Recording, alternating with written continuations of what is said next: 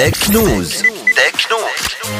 هواوي الخطر القادم من الشرق على الشركات الكبرى في العالم. الشركة الصينية اللي نجحت تعطي فكرة جديدة على جودة المنتوجات الصينية واللي نجحت تطلع على بوديوم أكثر المبيعات في العالم بعد أبل وسامسونج وقبل ميكروسوفت هواوي ما وقفتش غادي. الشركة الصينية تخطط مش تولي ثالث أكبر مزود لخدمات تخزين البيانات في العالم مع حلول 2018 وظفر بحصة كبيرة في سوق تهيمن على شركتي EMC و IBM فان رايكي رئيس خط منتجات التخزين لدى هواوي صرح لوكالة رويترز أنه الوصول للمرتبة الثالثة عالميا يخطوا لاستهداف المؤسسات المالية والحكومية وشركات الاتصالات لتقديم خدمات تخزين البيانات وهو قطاع يتوقع أن يحقق العام الحالي نمو سنوي لا يقل عن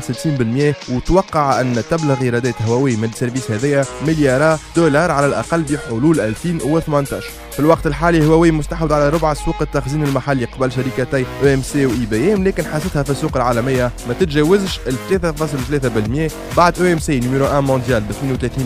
32% IBM الثانية ب 11.7% و NetApp ب 10.6% en tout cas هذا يبروفي إنه هواوي ما زالت مواصلة في الصعود وعندها برمجة متوسطة وطويلة الأمد تسعى من خلالها إنها تكون منافس كاسح وعلاش لا؟ رقم واحد في العالم. هكا TecknOOz لليوم وفات. خالد يقول لكم تحياتي. TecknOOz